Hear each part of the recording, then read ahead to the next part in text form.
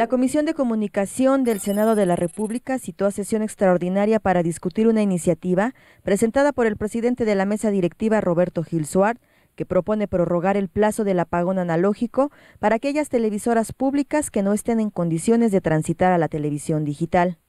El PRD impidió la discusión al asegurar que Gil Suárez violó el procedimiento legislativo al no presentar dicha iniciativa ante el Pleno. ¿Por qué se atreven a hacer eso?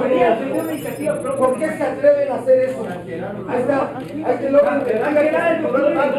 Es absolutamente falso cualquier manipulación de los documentos. Absolutamente falso. Voy a concluir no tiene que aprobar absolutamente nada el Pleno. El orden del día no lo aprueba el Pleno, el orden del día lo aprueba la mesa directiva, señora senadora. La iniciativa contempla incluir en esta prórroga a las repetidoras, es decir, a aquellos operadores de estaciones de televisión con una potencia menor o igual a un kilowatt para canales de VHF y 10 kilowatts para canales de UHF.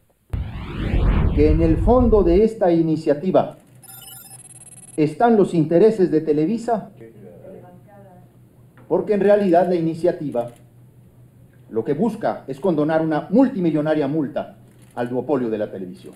Durante hora y media la oposición insistió en la ilegalidad del trámite que se le dio a la iniciativa.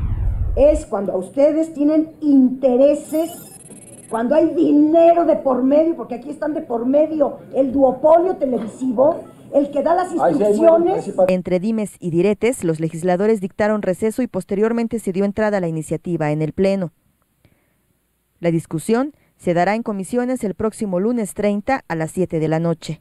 Noticias TVC, Jessica Murillo Barragán.